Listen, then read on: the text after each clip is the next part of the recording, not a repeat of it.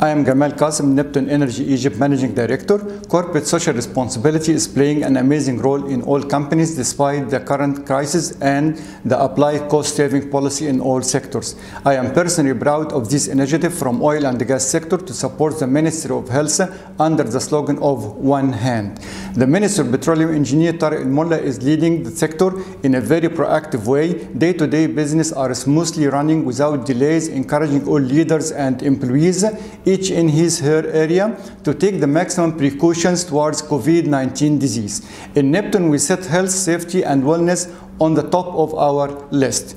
We can accomplish more by coordinating with other sectors in the industry to support the health sector in this crisis. We should learn from our leaders, President El-Sisi, who saved efforts uh, not only to support health sector in Egypt, but also to support other countries.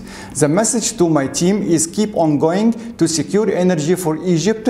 Egypt is in need for all of us to be one hand, and please take care of your wellness and health. Thank you.